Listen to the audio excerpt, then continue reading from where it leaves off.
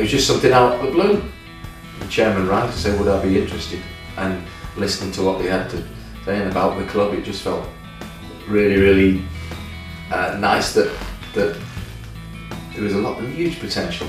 I know that's a that's a sort of word that's used far too often, probably in, in football, but Helston cer- certainly has.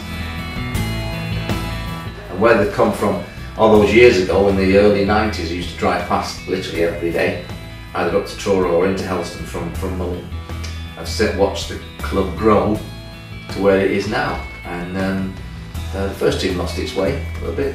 Otherwise, if it hadn't, to be perfectly honest, I'd, I'd, I would be here now or just discussing it. So that's that's always the thing with football jobs. It's it's because 90 odd percent of the time that things have gone wrong. The the management lost its lost its way, discipline was earned, and the very fact that actually at this this standard, which is at semi-pro football, at step six, to not fulfil one match, it's just never heard of.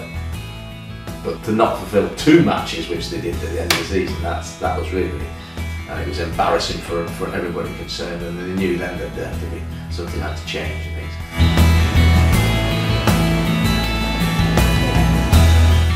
I just thought there was there, there was there was so much that I could actually contribute, and and I just felt motivated, and the old passion was was, was being driven again, and, and I got excited about it. Um, although having having been in it now what, a couple of months, there are one or, two of the old things you think, oh god, that's it.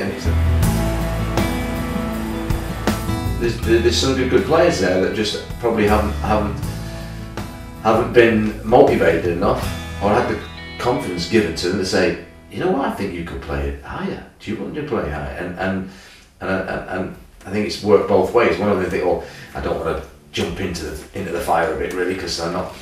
Is that um, would it would it be good enough? I don't know. Nobody's actually said that. I mean, so probably I'm not then. And then on the other side, the manager have actually not been confident enough or bullish enough, whatever, when you go to actually say, yeah, I think you can, I think you can play. Let's let's play them. So that's what I'm excited about, and actually giving them the opportunities. I, I certainly think there's a number of guys there that that actually could make some of the league sit up and take notice and think, oh, where did he come from? So he's been, he's been playing combo football for a week. I do. I really do believe it's, it's a big, big pool of talent down, down there.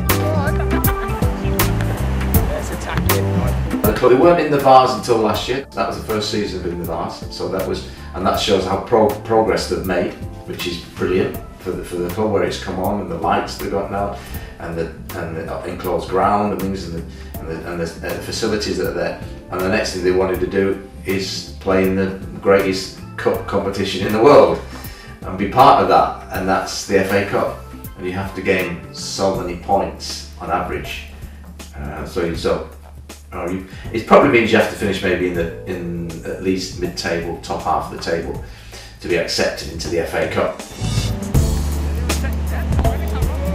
That's the aim. I don't see any reason why if we're if we're um, uh, organised enough um, and we've got plenty of plenty of passion and, and, and hunger from the from the players that we can't we can't finish in that mid mid table at least. That's.